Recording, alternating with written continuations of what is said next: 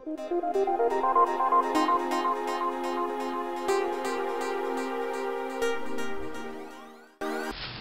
so I'm going to dodge my blow-off valve. What you're going to need is a blow-off valve. Uh, you're going to need uh, some screws. I'm going to use M6 by 50 screws. Uh, we're going to use a set screw. It needs to be 10 24ths by 3 16ths. You're going to need a 1024 uh, NMC tap. Uh, I'm sorry, 1024 NC tap. You're going to need a 6 mil tap. You're going to need a 13 64 uh, drill bit for a 6 mil tap. Need a uh, some type of tap holder and tap handle to tap out the holes. And uh, you need a blow off valve gasket to replace the one you're going to take off. A little bit of RTV, make it seal. Uh, center punch for your drill bits. And you're also going to need an 11 64 drill bit to uh, drill out these screws. And I'll show you what I'm talking about in just a minute. So I'm taking my screw here and got it level in uh, my vise. And I've gotten a uh, center punch. I'm going to take and we'll center punch this screw. You want to get this right in the center.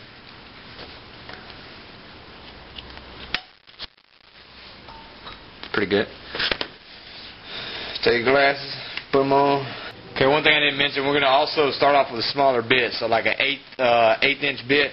We're going to start off after center punching the hole, and um, with the center punch, we'll go ahead and try to run it down a little way, and then we'll go ahead and use a larger bit.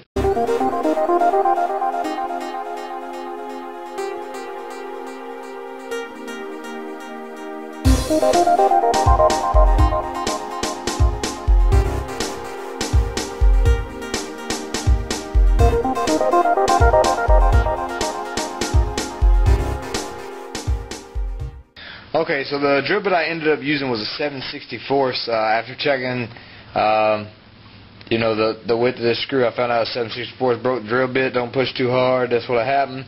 Anyway, it goes in all the way. So what we'll do is we'll pull that back out. We're going to take this, match it up to about right there. And so you'll notice, uh, I forgot to mention you'll need a cutoff wheel. You'll need something to cut this with. And we'll just make very unsafe, but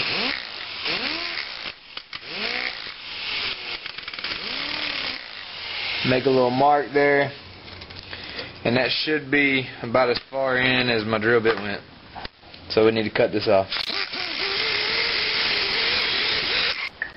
so the the hole went all the way through um, this screw here now that you can see it's got a hole on both sides.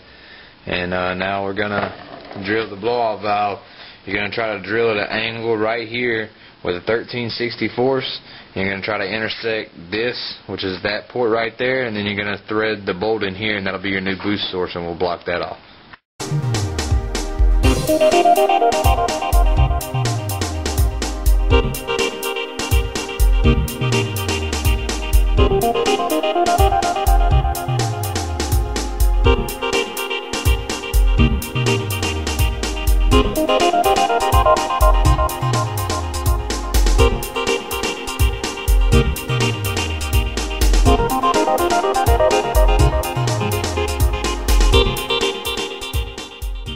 Alright, so as you can see here, um, we have gone all the way through. Um, see that drill bit poking through right there? So we've gone all the way through.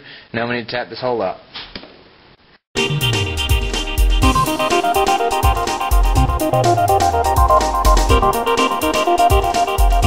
So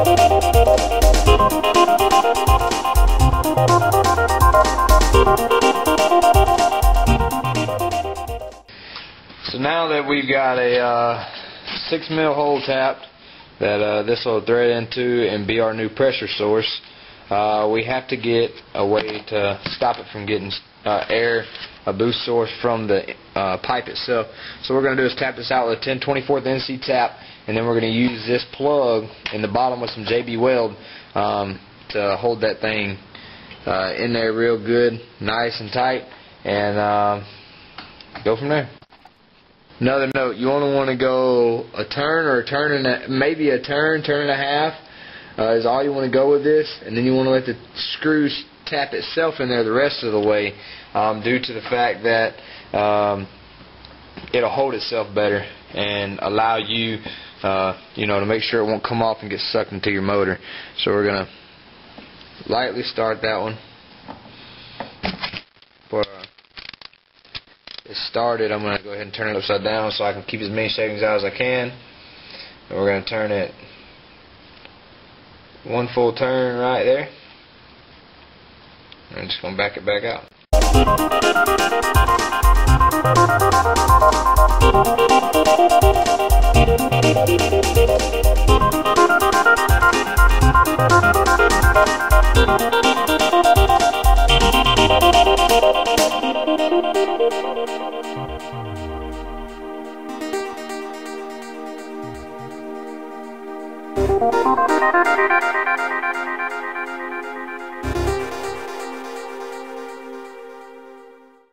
Take the drill bit and slide it down in your hole.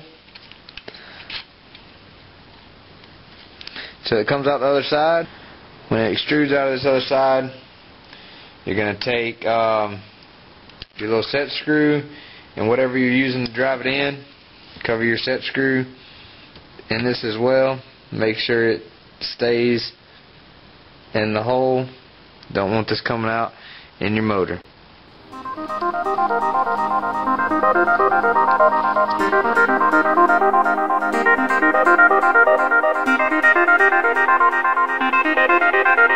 Música